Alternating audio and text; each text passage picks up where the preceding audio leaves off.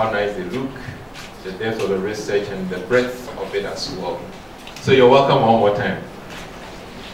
Um, we're going to open this ceremony with an opening prayer uh, by the Professor Amphos Kosofo.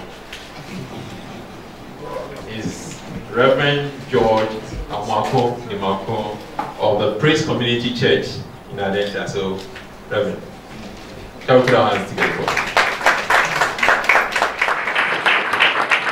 Father, we thank you for the gift of life.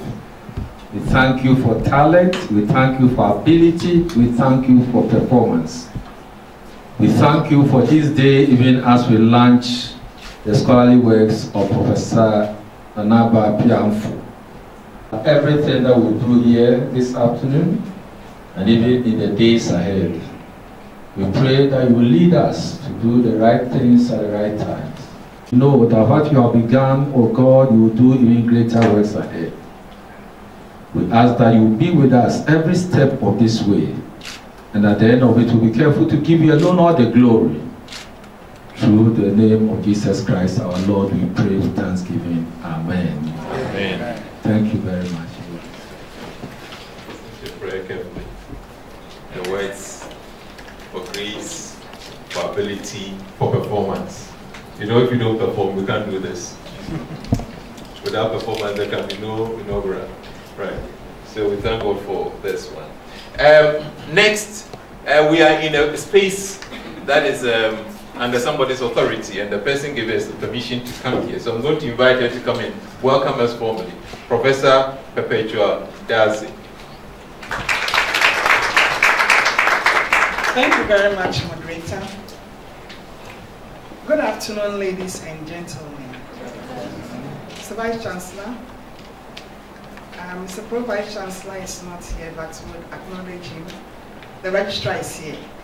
We have provosts available here in our midst, um, deans and directors, um, faculty members, students, ladies and gentlemen. I welcome you once again to the opening ceremony of this exhibition, exhibition of the works of our celebrant today, Professor Nanaba Amfo. this exhibition means so much to us because as a library, we need to fulfill our mandate of teaching, learning, and research.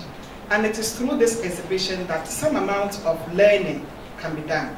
And of course, it is the research of Professor Ananaba Amfo which will give us an exposure to the knowledge and to the contribution she has to um, the university and also not only to the university but to the community at large. We are going to kindly ask that after this um, opening ceremony, you interrogate the exhibition which is down there, and then you see what knowledge has contributed, so that you as faculty and as students will be able to find out the gap in the knowledge that she has produced. You either fill the gap or you also do more of the research for us. Uh, it's a very interesting topic for her inaugural on Thursday, Beyond Babel. As soon as I saw that topic, I said, wow, this is the Tower of Babel. So we are going to learn about languages. so let's all go there on Thursday in our numbers to listen to how languages develop and what she has been able to do of her languages um, in Ghana and also in the, um, the whole world. So I'm going to wish Professor Nanaba Amfo the best of luck for Thursday, lecture on Thursday. And I hope many of you, if I tell a friend, tell another friend, so that many of you will fill the Great Hall on Thursday. So on that note, I want to congratulate Professor Nanaba Amfo and I hear many of them are here. They said every week they would come for inaugural. Please, I am waiting for you to come. And that note, I want to say thank you and welcome to Babylon. Now we're going to have introduction of the chairperson for this afternoon's ceremony. Then we'll take it up from there. But um, you know, let's just talk about the new bill for the universities. And the, the council proposed has uh, majority from somewhere. And we looked at the lineup here and realized that the majority come from somewhere. I will formulate where they come from. Yeah, so if we take a vote right now, we'll win because the majority come from somewhere. So I'll invite to come in here at the table. Can we put our hands together for Um, the Vice Chancellor, Provosts, Directors. Yes, I almost missed the registrar. I saw her walk by. Yes, the registration, yes. The um, Deans, Directors, and Heads of Departments, faculty members, invited distinguished guests, students, ladies and gentlemen. It's always an honor to be called to play a role during such important occasions. And I think I'm very grateful for this opportunity to present the chair at this special occasion when we are celebrating the work of um, Professor Nanaba Akua Amfo. So for our chairman, and I'm sure he has something to link to what the MC was saying, but I'm sure at the end of it, you all hear what it is, why some people have the majority. He is um, a geographer with a PhD in geography from the Norwegian University of Science and Technology, Trondheim, Norway. He had that in 1997. You can calculate how far back that has held visiting appointments and research affiliations at universities across the world. And I'm sure when we start counting, you see that each continent is well represented. He is a scholar by excellence with research interests in the fields of geography, epidemiology, and development for his teaching and professional work, including the Distinguished Award for Meritorious Service, which he got from the University of Ghana in 2012. He has published widely in scientific journals of international repute and has more than 40 journal articles, more than 10 edited books and special editions, and more than 10 book chapters, among others, to his credit. Is currently involved in a project on urban transitions in Ghana, funded by the National Aer- Aeronautics and Space Administration, NASA, USA. He has also served on several international advisory boards.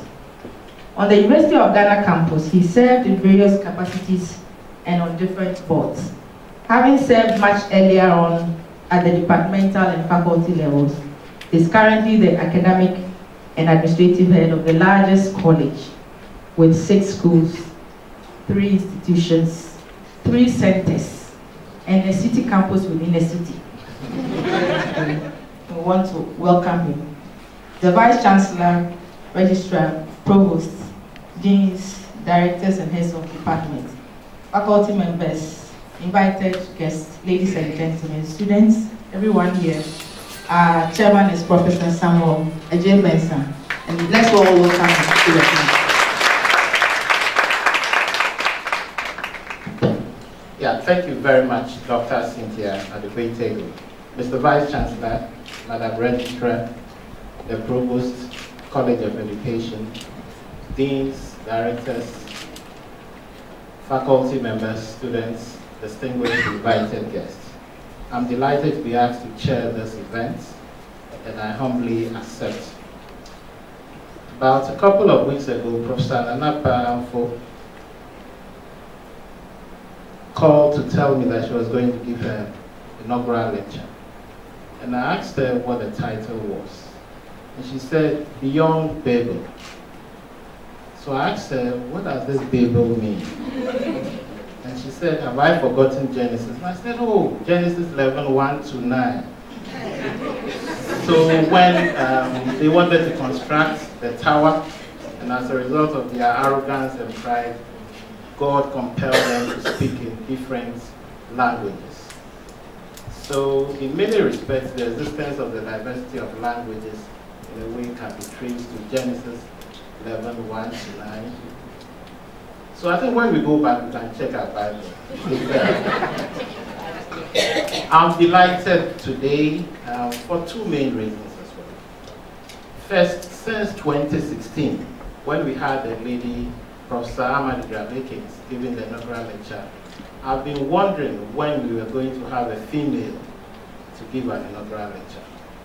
So since 2016, fortunately, thanks to God, today we are also having another female to give an, an, another inaugural lecture.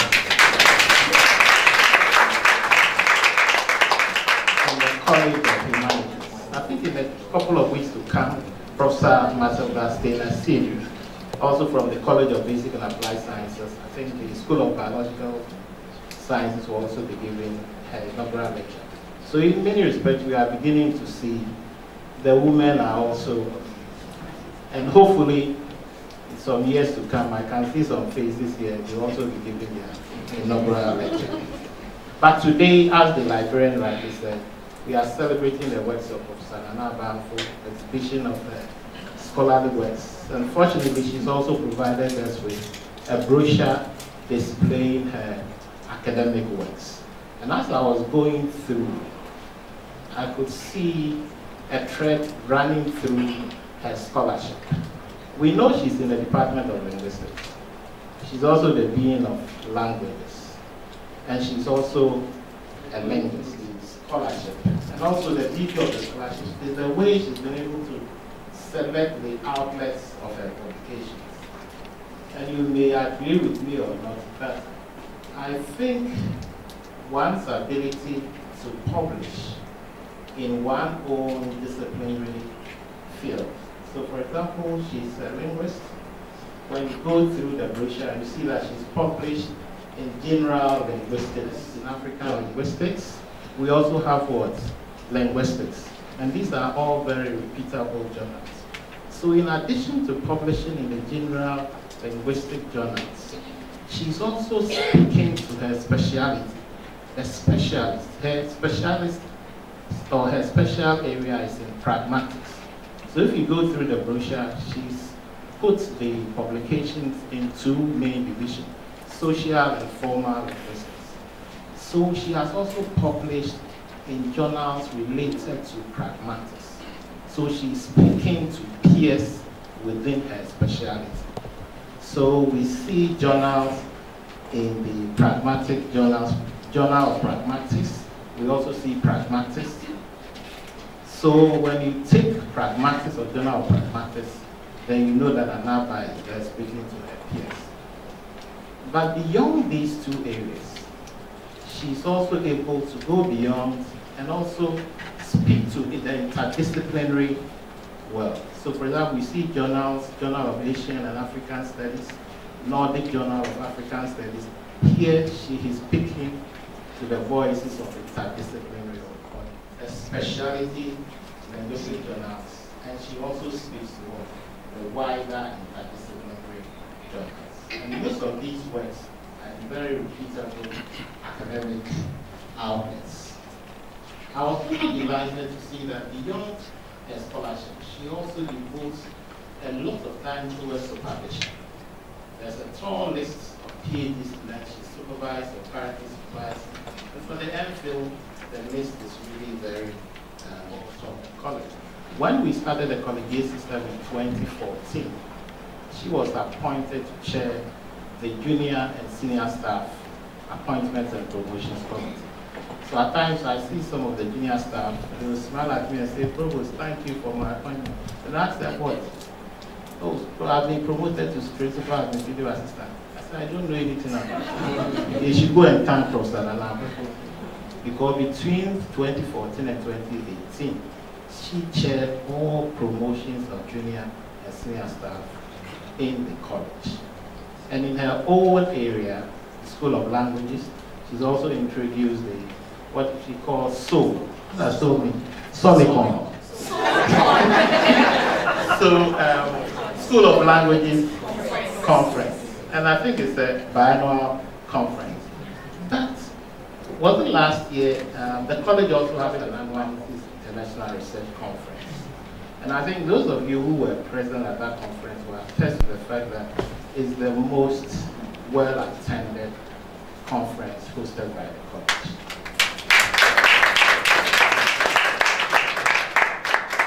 And I take this opportunity on behalf of the college to express our thanks to Professor Amfo. She's really very dedicated. It's not everything I can say here, but every task that we assign her, she does it with all the enthusiasm and diligence. So on Thursday, as she mounts the platform to give an lecture, I would like to invite all of you to join her. Professor, once, Professor Amfo, once again, thank you very much for your contribution. Good luck. Okay, so thank you very much, Mr. Provost, for, for that. Um, so the provost was the third of the people, of the majority that I mentioned. So later on I'll review to you what the majority we are talking about. I don't have to talk about Professor Publication because I had an opportunity to assess a document for promotion to associate professor when I was university assessor.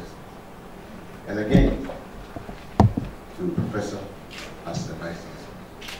I think the provost has said it. But before I go on with a few words, turn to me to page three. There's a beau- beautiful picture there. Beyond what you see in the picture, not outside the picture. What does the picture tell you? Some of the children in Islam. So, you have three things here. The picture, page three, the picture over here, and the The woman there.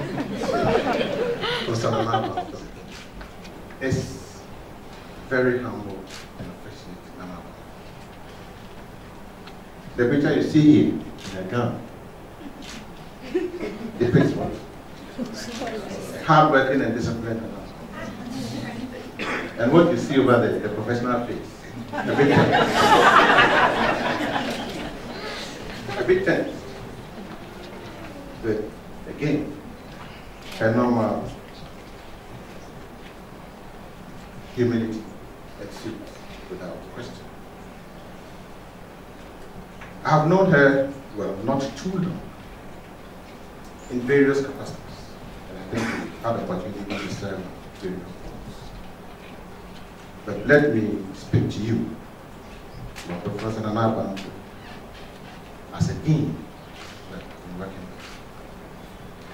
And the last two weeks, I had opportunity to say a few words about Professor Asante, Director of Peace. And this time around, I will not hesitate say the same thing about Professor Nolan Papa as Dean of School of Language. We're talking about her commitment here. Her dedication to the cause of the university to the that when my assistant registrar, senior assistant registrar, comes to me and says, Sir, should I call Professor Namabon to indicate to her that you're asking her to do ABC? I tell you, don't worry. Even in her sleep, she will accept to do it. and that is the current. We're dealing with. As a vice chancellor, again, I'll say that I've not had a single opportunity even to go to the School of Languages to ask questions. And for me, when I say this, I say this in line with, and I'll say again, the current transformation taking place in the university. That is to say, her finances, as far as the school is concerned, are up.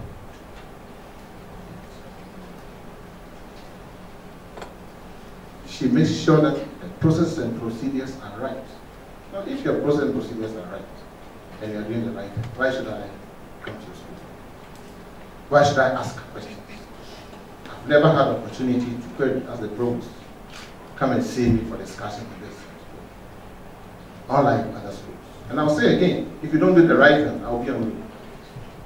I will never be tired. If you don't want me to descend on you in your school, please do. Because I've said time and again, I'm a phobia, and I never say that. I will never say that. Always say the ones, never. So if you want to do what is wrong, I'll say it again. Wait till I leave. Then you begin to do what is wrong. But there is a portion here that says a passion for mentoring, particularly younger professional women, driven them to organize or facilitate several capacity building training programs involve the public interest. What this means, and I confirm that she's a true mentor for the younger women coming. We look at looking as a woman in leadership. She's somebody who is starting a very good cause. She needs to be encouraged to lead, especially you, the younger women coming up in leadership. She's a true mentor. She's prepared to do whatever you ask her. She contributes very well. She advises very well. Just that when you take her by surprise, her eyes get dilated. her face changes. At times, she gets about 25 degree tan. so just encourage her to lead you. I've said, if you do not believe in what is currently going on in in terms of the discipline that we want to instill to make sure that we have the university posterity will forever be proud of, then don't think about this. I repeat, if you don't share in the ideals, if you are not joining the current storm, the wind that is blowing, with a very basic principle, do not take what doesn't belong to you. Please, don't think about leadership. Stay where you are and let the wind blow. If you want to come up with discipline, if you want to have respect for procedures and processes, if you want to work in the interest of University so posterity will forever remain grateful to you, please join the group. Congratulations. God bless. Have the singular honor of inviting the, the Dean of the School of Languages to come, but don't come yet. you know, I, I, she was my, my office mate Anna, Anna, yeah, the only office mate she's ever had in this university. Yes, and um, should I see the other one? yeah, she's my academic girlfriend number two. I was wondering, you know, when I walked in here, I, I knew I was going to be the MC, and then I got to know I'm a moderator, and I was wondering who changed my name. but um, that's what you can expect when you come to a School of Languages ceremony. Anything can happen. The, the provost can become reverend. Everything. So at this point, I want to um, invite the, the, the, the dean but before then, I, I want to take this opportunity to introduce the, the bunch sitting in front of me here. That's the last one. Um, the next, next is Araba Mami Araba Amfo. And big brother Yofi Ajekum Amfo. Yes. And my one and only friend, Eja Amfo. Yes, that's Dr. Frank Amfo, the husband of Professor Nanaba Appiah Amfo. So Nana, please come and tell us something.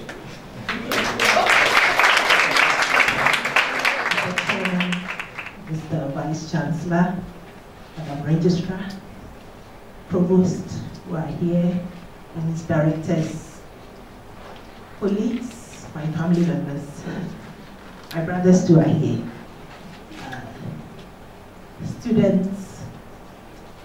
We do this all the time, but sometimes we get tensed. Good afternoon to you all. And uh, I'm really grateful for your presence here this afternoon. This ceremony is a prelude to the inaugural lecture on Thursday, and so I'm looking forward to seeing you all as well. But I just want to say a few things about the work that I've been involved in in the past few years, maybe 17 or so years. I'm a linguist, as you all know, and the, my subspecialty, as was mentioned, is pragmatics. Pragmatics, simply put, is the study of language use in context.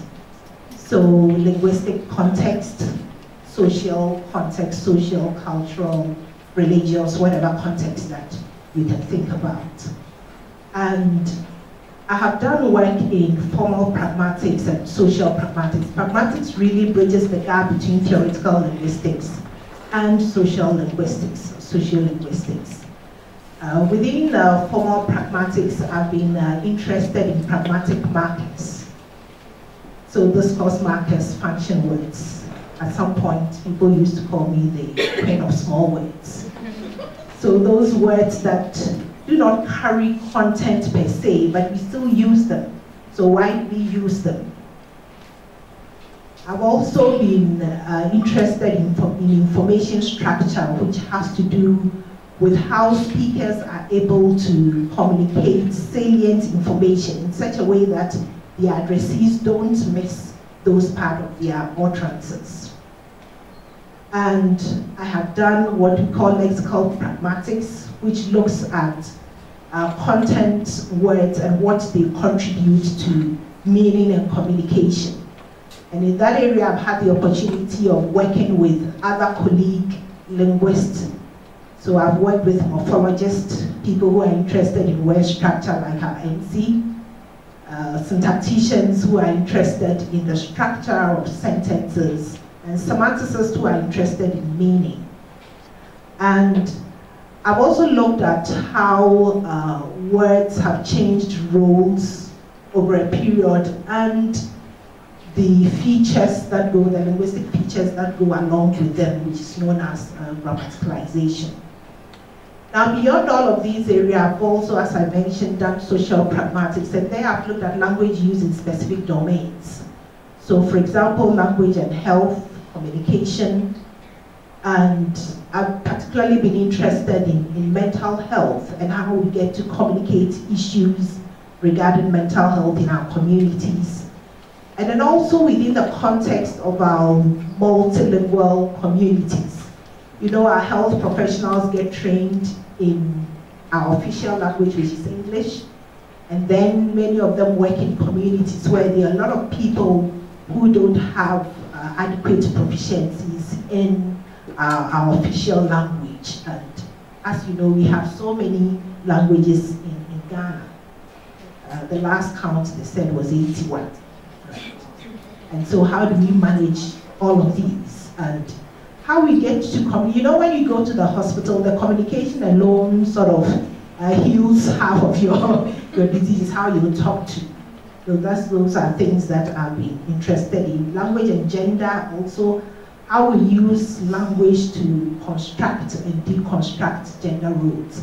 And I'll be talking a lot about these, more of these on, on Thursday. And I've also looked at uh, multilingualism and language uh, in my migratory context and how people are able to negotiate all of these spaces, uh, even when they have limited proficiencies in certain uh, languages. And as the provost said, beyond that, particularly relating to my editorial work, I've also uh, done work in general linguistics and even humanities as well, general humanities relating to my editorial work. And so when we are done here, we will go down to the exhibition hall and then see what is there. Uh, I would like to, as I bring my short speech to a close, to thank all of you, uh, to thank my collaborators, because they, they've given me an opportunity to learn. And when I talk about my collaborators, I talk about, you know, my, my mentors, my peers, my junior colleagues, my students. It's amazing how many of our students are now my colleagues, right? And I can see some of them smiling. And it doesn't matter, you know, whether it was a student or a mentor, there's always something to learn in collaboration. And also one of the things that I've learned is that it's important for you to get grounded in your own discipline, in your own specialty. Then you can move into collaboration. Then you go with a certain strength and a certain expertise that the team can benefit from. Uh, I would like to thank also the university authorities.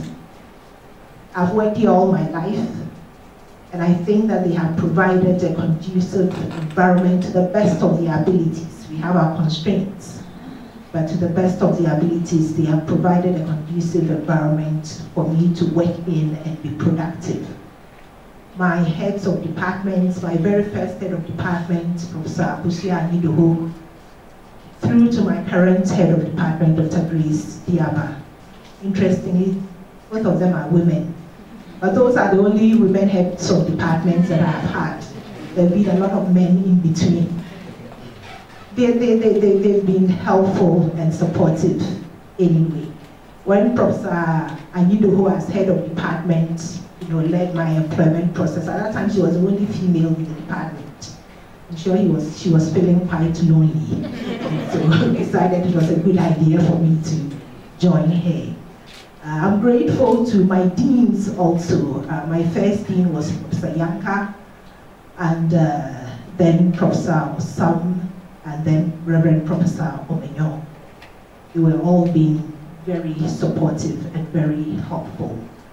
Uh, my provost that I have worked with for the past uh, almost five years, uh, he likes to give me a lot of work, but he's, also very supportive as well. And the Vice Chancellor, and in fact all successive Vice Chancellors, uh, it was Professor Addae who interviewed and employed me. Uh, Professor Tagoe promoted me to senior lecturer. It was during the tenure of Professor Aryeetey, who I see just walked in, that I got promoted to associate professor and then Professor Mizodru Usu topped it all up. As, as the young people would say, you do all. so thank you all very much. And indeed, they've, they've really all been very uh, supportive of my academic pursuits. I would like to then thank my family, um, my husband, Frank. I met him many, many years ago. But 1991, when I came to this campus as an undergraduate student, he wasn't a student here. He was coming from elsewhere. But uh, in a space of maybe about one and a half years, he managed to convince this young, naive girl that he was the best thing that happened to me. and he has stuck with me through all these years. So thank you very much, Frank. Uh, and my kids, my children, Yofi, and uh, Mami and uh, Ifua Benoit. Indeed, it's, I've, I've done this journey with him, with, with, with them all. Know, I, I started my family before my career, and uh, they've been very, very supportive all this while. And I'm truly, truly grateful to them all. And finally, I'm grateful to everyone here. Uh, it's somebody else's job to do the good of thanks, and I think that I have done enough incursions into that territory. And so I will end here and let Mr. MC come and take over. Thank you all very much.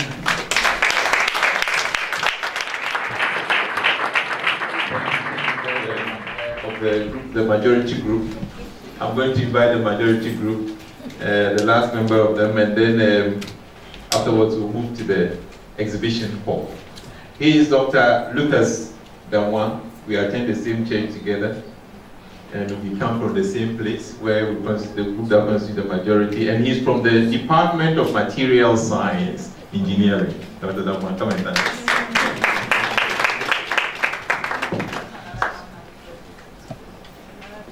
I actually didn't think there was a need for any additional vote of thanks because Paul has already done all the thanking. But since it's on program, we'll do it anyway. Mr. Chair, Provost of the College of Humanities, VC, Registrar, I know there are so many big people here. I might not be able to pick all of you, but we acknowledge your presence and I address all of you. I take um, this opportunity to, first of all, say thank you to God. You all attest to the fact that it's taken a lot of grace for Professor Amfo to have come this far. It's not easy. Some of us looked up to her and we decided to do what she does and at some point we consider checking out. but she stayed the course, she's risen to this level. I don't think it is by chance, it's, just been by grace. And I want you to join me to just say thank you, God, on her behalf for all that He has done for her. We also take advantage of this opportunity to thank um, the provost, Professor Agyei-Mensah, the VC and senior management, who have all made time to be here to see to the successful end of this opening. This is just the beginning, but the opening is going to close shortly, and then we'll be ushered into the next phase. We also thank um, Professor Dadzie and her team for the hard work putting this together. They did some couple of weeks ago, and doing it today throughout the week. I'm sure next week, as we heard from the beginning, and the next week is going to continue into this program. We also want to thank Professor Amfo's um, inaugural lecture committee led by Dr. Anderson. I think they've done a good job. Um, I like what the MC did here. A few weeks back, not too long ago, I accidentally bumped into um, Prof. Sanfo's office. I entered accidentally, and then I got to know she was coming to have the inaugural lecture. The committee was with her planning things out. They've put in a lot of work, and I think it is just good that we say thank you to them for all the hard work. I don't want to miss anyone. Is Mr. George Graham here? Thank you very much for preparing all the exhibits for, for AMFO's um, inaugural lecture. Thank you. We are very, very grateful. I want to say thank you to everyone else who in one way or the other have been a part of this and have seen it to this level. We've had thanks going to family members, they are here. A lot of beautiful friends that I've had um, over the period. Some I haven't seen in a while, and uh, it's good to see them on this day. Thank you all very much, thanking you. And I want to say thank you. And to all of you who made time to be here this afternoon, we can't thank you enough. But the last time, Mr. Chairman, I just want to use this time to say thank you to Prof. Amfo. yes, this is her day. If she hadn't stayed the course, as I said earlier on, all of us, especially the younger ones, wouldn't get this opportunity to be inspired, all right, to do what we have to do. Prof. Amfo, thank you very much for the hard work and the discipline. That is something that I am trying to learn, and I hope that those of you like myself will be inspired to be more disciplined so that someday we can gather here to celebrate you. Thank you very much. Thank you very much, Lucas. Uh, being the first on the on the program for today as the moderator, to um, uh, Dr. Cynthia Tebo from ISE, to Professor Reverend Professor uh, Samuel J. Provost, to the to Professor Nana Aba Amfo and to Lucas. We are from Norway, made in Norway, thanks to Quota Program. Yeah, so that's uh, we that is Norwegian government's contribution to, UG, part of the contribution. So we thank you all for for coming. Uh, the program doesn't end here. We'll go to the exhibition hall. Uh, the easiest way to go when we get out of here, just walk straight to the end. That way. So if you go out through the left, then you turn right. You go to the end, then go down to the ground floor, then you can turn left. Alternatively, alternatively, Eric is down there. Follow him. Or wherever I pass, follow me. So thank you very much for coming. Thank you very much. We would allow the the the, the chair, the the little